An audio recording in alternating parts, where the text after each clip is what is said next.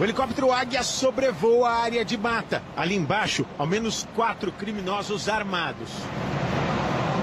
São assaltantes de carro que fugiram mais de 200 quilômetros por rodovias até o cerco numa pedreira. A PM foi acionada e houve perseguição pela rodovia Castelo Branco. Os criminosos fugiram e depois acessaram estradas de terra. Chegaram até este ponto em Araçariguama, outra cidade da região metropolitana da capital paulista. Ali funciona uma fábrica de cimento, mas os bandidos vieram na direção deste ponto aqui, onde funciona uma pedreira. Os bandidos vieram por esse barranco e desceram escorregando por baixo da mata. Foram perseguidos. O helicóptero Águia da Polícia Militar veio em apoio. Os militares fizeram um grande cerco e foram recebidos a bala pelos bandidos no meio da mata. Aqui a gente consegue ter uma ideia da Atena, porque os bandidos chegaram nesse ponto, começaram a descer e perceberam que não havia a menor possibilidade de fuga. Dá uma olhada no tamanho dessa grande bacia da pedreira. Quando eles se viram sem saída, começaram a atirar contra a polícia. Apesar do local remoto, o socorro foi chamado rápido e chegou a levar os suspeitos para o pronto-socorro.